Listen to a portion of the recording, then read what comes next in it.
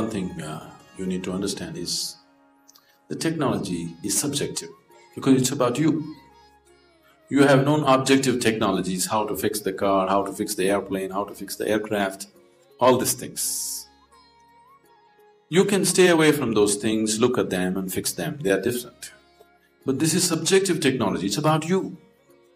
So if you have to look at this, in some way you have to open up. So if we have to open you up, see today, there was a time they were doing surgeries on the street side, you know that? Yes? And if too much blood comes, they would just pick up mud and throw it and stop bleeding in the village. Yes, do you know? Yes or no? If there is a cut or a wound and there's too much bleeding, they would simply take mud and put it somehow to stop the bleeding. But today we have understood, even if we have to open a small opening in the body, we need a certain, certain sterile condition to do it. We have understood that much, isn't it? So, whether it's the physical body, means we need a certain kind of condition. Similarly, if we have to open up you as a person, we need a different kind of atmosphere. We need a committed atmosphere. In a casual atmosphere, you never do it.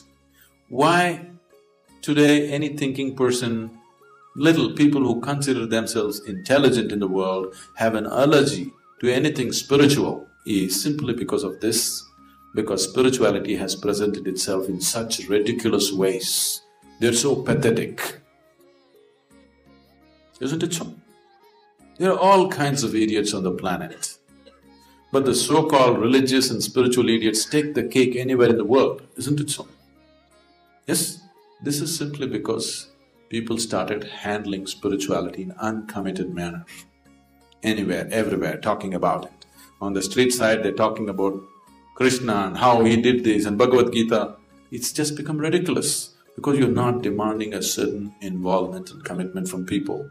Just anywhere you're going on like a film song or a commercial thing. Now, slowly it has become so ridiculous, people have just dismissed the value of it, absolutely. Now it is only the ignorant and the uneducated who listen to Mahabharata and this one and that one. They're educated because they've already dismissed it as nonsense. Because it's happening in such ridiculous ways, it is not being presented properly, not creating the right kind of situation for it to grow, simply doing it anyway. So subjective technology is never attempted in uncommitted atmospheres. It has to be done in a committed atmosphere. We want to just align these four wheels on which you carry your life.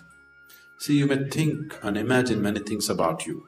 In your experience, the only four realities of your life is physical body, mind, emotion and energy that supports all this, isn't it so? Other things you imagine and you believe from your traditions and cultures, these are the only things which are in your ex living experience.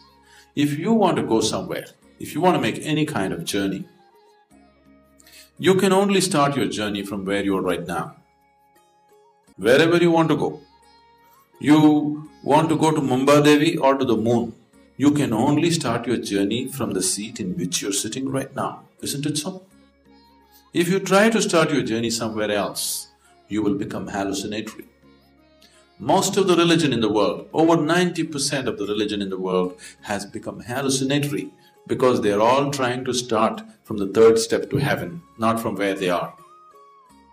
You must first realize what is the experiential reality of who you are. What is the next step, and the next step, and the next step. This is the only way you're genuinely going to go somewhere, otherwise you will become hallucinatory.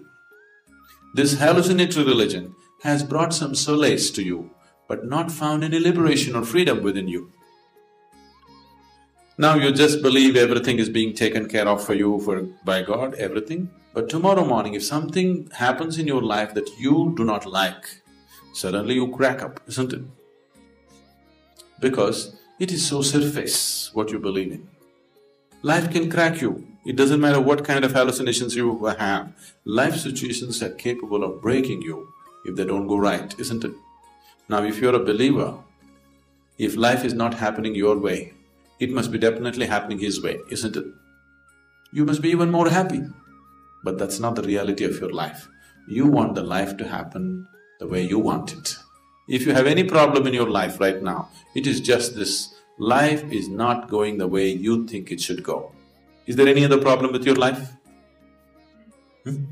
Is there any other problem with your life? This is the only problem that human beings have. Life is not going the way they think it should go, isn't it so?